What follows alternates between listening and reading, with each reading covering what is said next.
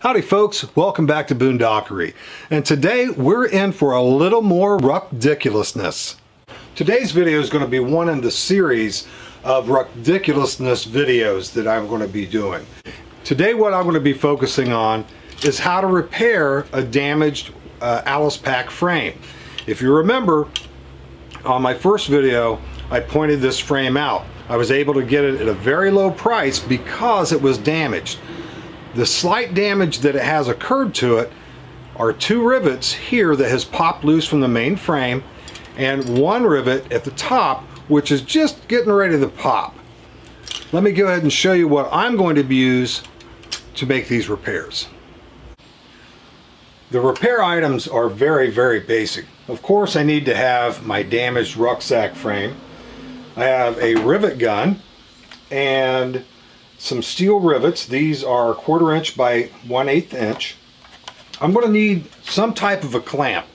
And these clamps are going to hold the aluminum stays into position while I do my riveting. I'm also going to need um, a drill. I have a 1 8 inch uh, drill bit in here, which is going to be perfect for me to drill out these rivets so I can break those free. And that is all I'm going to need. My first order of business is to drill out these damaged rivets that have broken free from the frame.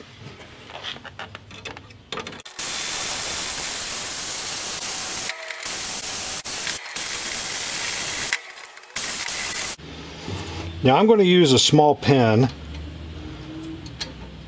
to line up the hole position. And this is a lot of, lot of spring tension in here.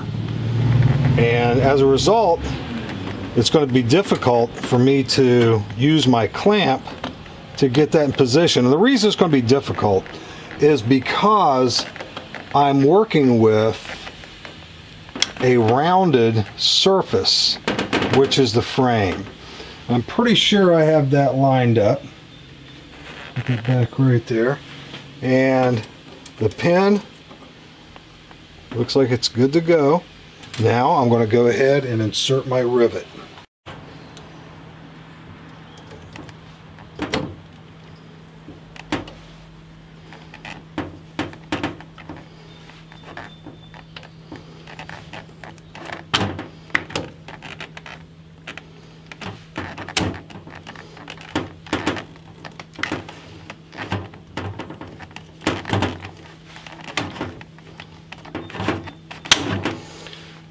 There we go. There's our first rivet. Now we're just going to go down and do the same thing with the bottom rivet. And there we have it.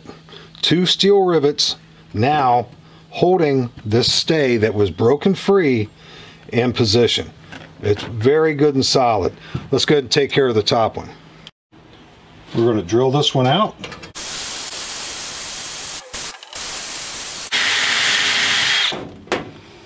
All right time for us to go ahead and clamp it down and get another rivet in there. Now, clamp is in position. Get that rivet gun in position. Make sure it's in focus.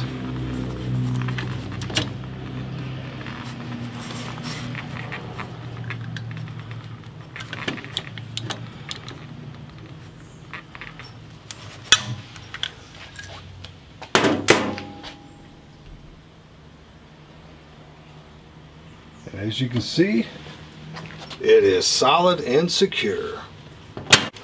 As you can see, the repairs that I did on this were, were ridiculous, or ridiculously easy. And had I not been uh, filming, these repairs probably would have taken me a grand total of maybe three to five minutes to repair this. I was able to purchase this for $5 because it was unserviceable. It was broken. It was damaged. And a lot of people, when they go to surplus stores, if they see something like this, usually they, just pass it up. They pass it up as junk. And they, they don't think anything about repairing it, let alone talking to the owner and say, hey, you got this piece of broken stuff And I think, you know, I, you know, there's parts of it I could use. So I, would be buying it for parts. And, um, you know, they could hook you up with a sweet deal on this. Like I said, I was looking at these things completely stripped. That's even without the kidney pad uh, on eBay. And they were new and they were $45. Or excuse me, they were used. They were actually used. And they were $45. And um, here is a used serviceable frame. Five bucks. Probably got maybe 20 cents or less worth of rivets and a little bit of time. And uh, now it's time to put this thing to use. And the use I have for this repaired frame is with my MOLLE load panel. But you know what? That's for another video. uh, it's going to be coming soon. Folks, thank you so much for watching. I'll see you next time.